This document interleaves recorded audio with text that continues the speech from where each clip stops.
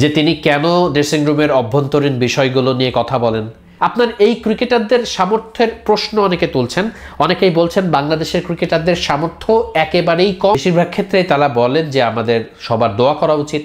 আল্লাহ দিলে হয়ে যাবে। আসসালামু আলাইকুম।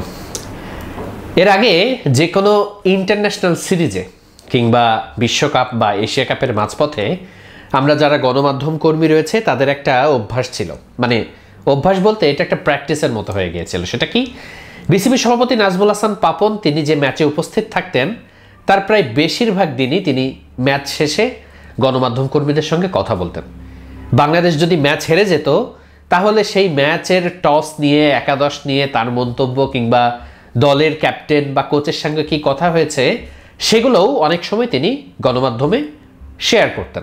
সাধারণ মানুষের সাথে শেয়ার করতেন গণমাধ্যমের মাধ্যমে। এই ব্যাপারটা যতটা না আলোচিত, তার থেকে বেশি সমালোচিত। সবসময় ছিল যে তিনি কেন ড্রেসিং রুমের অভ্যন্তরীণ বিষয়গুলো নিয়ে কথা বলেন, কেন কেন তিনি সিরিজের মাঝপথে আসলে এই ব্যাপারগুলো নিয়ে কথা বলেন। এটা ক্রিকেটারদের উপর প্রভাব পড়ে, ক্রিকেটারদের মানসিকতার উপর প্রভাব পড়ে।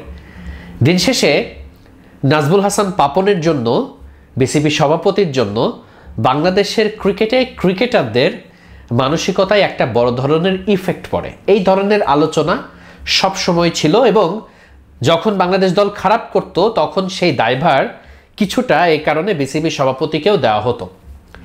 গত এশিয়া কাপ থেকে এই বিশ্বকাপ পর্যন্ত এখন পর্যন্ত বিসিবি সভাপতি মুখে একেবারে কুলু পেটেছেন। তিনি খুব একটা কথা বলছেন না, গণমাধ্যম কর্মীদের সঙ্গেও দেখা করছেন না। গণমাধ্যম কর্মীরা তার সঙ্গে দেখা করে কথা নেওয়ার চেষ্টা করেছে, অনেকবার তার বক্তব্য শোনার চেষ্টা করেছে। কিন্তু নাজবুল হাসান পাপন এখন পর্যন্ত ঠিক সেভাবে মিডিয়ার সঙ্গে কথাই বলেননি। তিনি অনেকবারই অনেক জায়গায় গণমাধ্যমের সঙ্গে তার দেখা হয়েছে, কিন্তু তিনি কথা বলেননি। হ্যাঁ একবার তিনি ভারতে ওই নেদারল্যান্ডস ম্যাচের পর একটা বিবৃতি দিয়েছিল যে ক্রিকেট বোর্ড আসলে ক্রিকেটারদের পাশে আছে।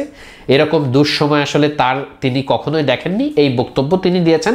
কিন্তু গণমাধ্যম কর্মীর কোনো প্রশ্নের অফিসিয়ালি তিনি কোনো উত্তর দেননি। বিসিবি সভাপতির এই প্রসঙ্গটা আমি কেন আনছি? দেখুন, গতকালকে মেহেদি হাসান মিরাজ গণমাধ্যমের সামনে প্রেস মিটে হো হো করে হেসেছেন আইসিসি চ্যাম্পিয়ন্স ট্রফির একটা প্রশ্নে। তাকে প্রশ্ন করা হয়েছিল, আইসিসি চ্যাম্পিয়ন্স ট্রফি যদি খেলতে না পারেন, সেটা আপনাদের জন্য কতটা খারাপ কোনো কিছু হবে বা কেমন ফিল করছেন? এই টাইপের একটা প্রশ্ন তাকে করেছিলেন একুশ তাপাতর নামে আমাদের একজন গণমাধ্যম কর্মী, সহকর্মী। সেই প্রশ্নের উত্তরে মেহেদি হাসান মিরাজ স্বাভাবিকভাবে বলেছেন যে তার অনেক খারাপ লেগেছে, তার খারাপ লাগবে যদি খেলতে না পারেন। কিন্তু একই সাথে গণমাধ্যম কর্মীরা সেখানে যেতে পারবেন কি পারবেন না, সেটা নিয়ে তিনি যাই বলুক it's doesn't matter to me but তিনি যেই অভিব্যক্তিটা প্রকাশ করেছেন, যেই হাসিটা তার মধ্যে বেরিয়ে এসেছে, তাতে করে একটু হলেও ক্রিকেটারদের মানসিকতা নিয়ে আমার একটু প্রশ্ন উঠেছে। দেখুন, আমি এই জায়গাটাতে একটু কোচ সালাউদ্দিন স্যারের কয়েকটা কথা কোট করতে চাই। তিনি এর আগে বেশ কিছু গণমাধ্যমের সঙ্গে যখন কথা বলেছেন, বেশ কিছু লাইভে যখন কথা বলেছেন, তিনি বারবারই একটা কথা বলেছেন, আমাদের দেশের ক্রিকেটারদের সামর্থ্য থেকে বেশি সমস্যা হচ্ছে মানসিকতায়। অর্থাৎ ক্রিকেটারদের সবার মানসিকতার জায়গাটাতে তারা উনিশ বিশ, যে কোনো ক্রিকেটারকে আপনি নিয়ে যাবেন, তারা ওই একই কাজটাই করবে। মানসিকতার কথাটা কেন বলছি? তিনি বলেছেন, যে ধরনের উইকেটে বিশ্বকাপে খেলা হচ্ছে, বেশিরভাগ এই ধরনের উইকেটে লিটনের প্রায় প্রত্যেক ম্যাচেই একশো করা উচিত। তার মানে কি, লিটন দাসের সেই সামর্থ্য নেই? অবশ্যই লিটন দাসের সেই সামর্থ্য রয়েছে। কিন্তু লিটন দাস কেন এই একশো করতে পারছেন না? কেন তিনি সত্তর, আশি, পঞ্চাশের উপর রান করতে পারছেন না? সমস্যাটা সেখানে তাদের মানসিকতায়। দেখেন গত ম্যাচে পাকিস্তানের সাথে ইফতেখারের যে বলটাতে লিটন দাস খুব সফট একটা ডিসমিসালে আউট হয়েছেন। সেই আউট হওয়ার ধরনটা কি ছিল? সেখানে কি লিটন দাসের সামর্থ্য কম ছিল বলে তিনি ওই ডেলিভারিতে আউট হয়েছেন? লিটন কি তার থেকে কঠিন ডেলিভারিতে বড় বড় ছক্কা বা ভালো খেলতে পারতেন না? অবশ্যই পারতেন, অবশ্যই তিনি পারেন। তাহলে স্পেসিফিকলি এত মামুলি একটা বলে তিনি কেন আউট হয়েছেন? কেন না আউট হয়েছেন? কারণ তিনি ওই সময় মানসিকভাবে একটু হলেও অন্য মনস্ক হয়েছিলেন। পুরো ফোকাসটা বলের উপর রাখতে পারেননি। অ্যাজ এ ক্রিকেটার মানে আমি অল্প কিছু ক্রিকেট হয়তো বা খেলেছি, সেটা জেলাভিত্তিক মানে ক্রিকেট বলেই খেলেছি, সেই অভিজ্ঞতা থেকেই বলছি। ক্রিকেটটা এমন একটা জিনিস, আপনি যখন অল্প একটু ফোকাস মিস করবেন, সেটাই বড় ভুল হয়ে যেতে পারে।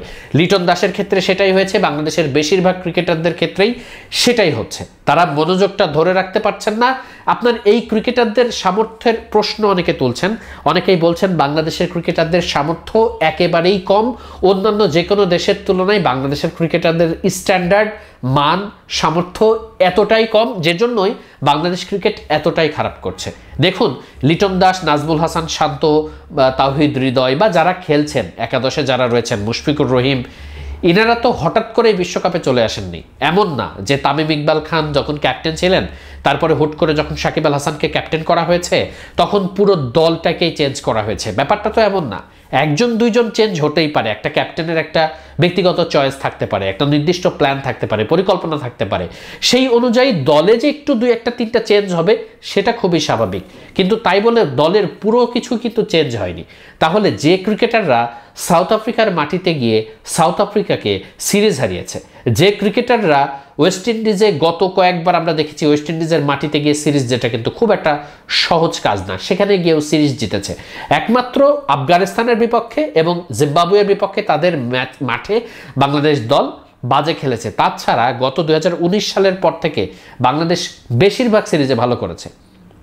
দেখুন যেই মিরপুরের উইকেট নিয়ে আমরা এত কথা বলি, এত সমালোচনা করি, যেই মিরপুরের উইকেটে ভারতের বিপক্ষে সিরিজ যেটাটাকে আমরা খুব বেশি ক্রেডিট দিতে চাই না, ভারতের ইডেনে কি আমরা সেরকম উইকেটেই খেলিনি? আমরা তো মিরপুরের মতো গতানুগতিক ধারার উইকেটেই খেলেছি। তাহলে কেন সেখানে এশিয়ার বাইরের দেশ হিসেবে নেদারল্যান্ডস আমাদের বিপক্ষে জিতেছে? কেন জিতেছে? নেদারল্যান্ডসের ক্রিকেটারদের সামর্থ্য কি বাংলাদেশের ক্রিকেটারদের থেকে বেশি? আপনি এটা বললে আমি তো অন্তত বিশ্বাস করতে চাই না। তার মানে সমস্যাটা কোথায়? সমস্যা হচ্ছে মানসিকতায়। হ্যাঁ অবশ্যই মানসিকতার সামর্থ্যের ক্ষেত্রে বাংলাদেশের ক্রিকেটাররা অন্য দেশের ক্রিকেটারদের থেকে অনেক পিছিয়ে রয়েছে। সেই পেছানোর জায়গাটাই একটু আলোচনা করতে চাই। দেখুন, আমাদের দেশের ক্রিকেটারদের মধ্যে ভালো করার তাড়না এবং অন্য দেশের ক্রিকেটারদের মধ্যে ভালো করার তাড়না কতটা? সেটা কিছু ক্ষেত্রে ক্রিকেটারদের মন্তব্যে বোঝা যায়। বেশিরভাগ ক্ষেত্রেই তারা যখন খারাপ করে, তাদের যখন গণমাধ্যম কর্মীরা প্রশ্ন করেন, এমনটা কেন হচ্ছে? বেশিরভাগ ক্ষেত্রেই তারা বলেন যে, আমাদের সবার দোয়া করা উচিত।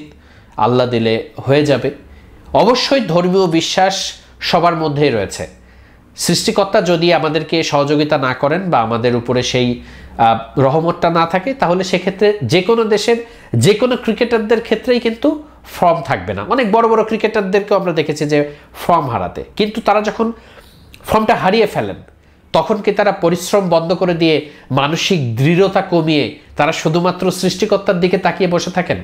না। বিরাট কোহলির মতো ক্রিকেটার এত বাজে অবস্থায় চলে গিয়েছিলেন ফর্মে যে বিরাট কোহলি ইজ ফিনিশড এইরকম একটা টাইটেলও ব্যবহার করা হয়েছে ভারতের জাতীয় পত্রিকায়। সেই বিরাট কোহলি কি ফিরে আসেননি? তিনি পরিশ্রম করেই তো ফিরে এসেছেন। একা একা তো ফিরে আসতে আসেননি।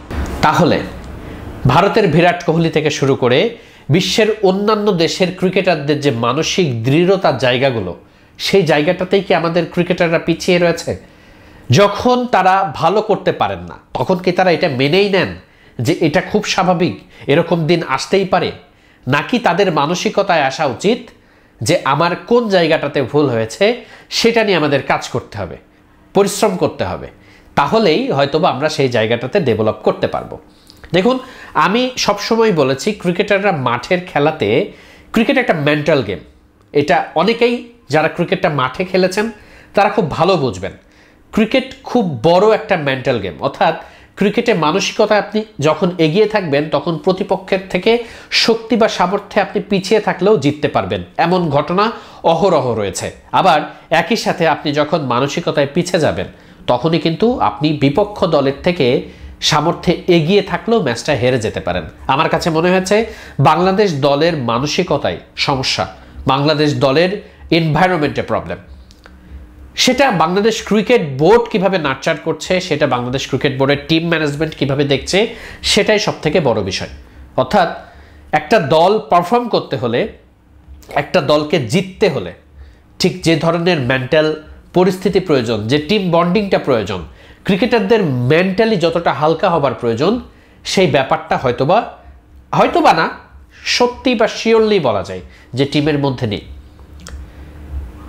এই যে বারবার বলা হচ্ছে ব্যাটিং পজিশন নিয়ে, কেন এত পরিবর্তন? গতকালকে রবি শাস্ত্রী একটা কৌতুক করেছেন, বাংলাদেশ মনে হয় ব্যাটিংয়ে নামার সময় চিরকুট ওলট পালট করে লটারির মাধ্যমে ক্রিকেটাররা নামেন। এই ধরনের কৌতুকের অবশ্যই যুক্তিযুক্ত ব্যাখ্যা রয়েছে।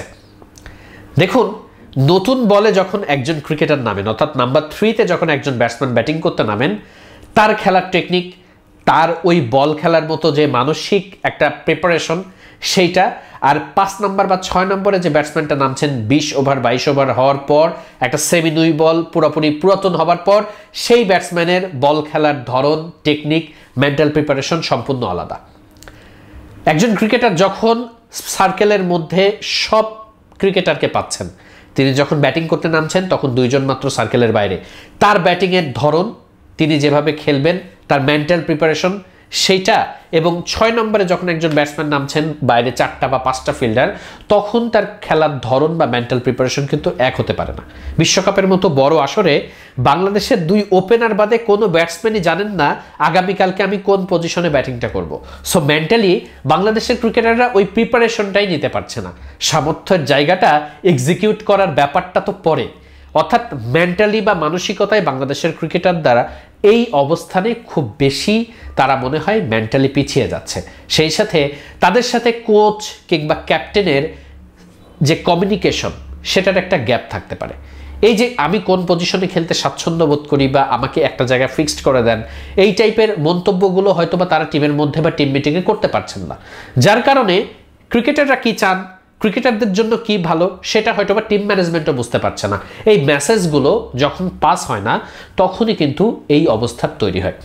এবং এটাই আমি বলতে চাচ্ছি যে বাংলাদেশের ক্রিকেটের সামর্থ্য থেকে সমস্যা, মানসিক সামর্থ্যে। সেটা ঠিক করতে গেলে একেবারে নতুন করে সব কিছু গোছাতে হবে, নতুন করে ক্রিকেটারদের সেই সময়টা দিতে হবে। ঠিক হবে না কেন? অবশ্যই হবে। এই ক্রিকেটাররাই আগে জিতিয়েছে, এই ক্রিকেটাররাই আবার আপনাকে পরেও জেতাবে। নিশ্চিত থাকুন। সময় সব কিছুই ঠিক করতে হবে, ঠিক করে দেবে। তবে তার জন্য শক্ত হতে হবে বাংলাদেশ ক্রিকেট বোর্ডকে। আপনার টিমের জন্য কোনটা ভালো, কোন মানুষটা ভালো, সেটা খুব বুঝে শুনে সিদ্ধান্ত নিতে হবে। বাংলাদেশের ক্রিকেট, বাংলাদেশের ক্রিকেটাররা কেমন মেন্টালিটির এটা যদি বুঝতে না পারা যায়, তাহলে এই ক্রিকেটটাকে এগিয়ে নিয়ে যাওয়া খুব কঠিন হবে। সবাই ভালো থাকবেন, সুস্থ থাকবেন। আল্লাহ হাফেজ। আসসালামু আলাইকুম।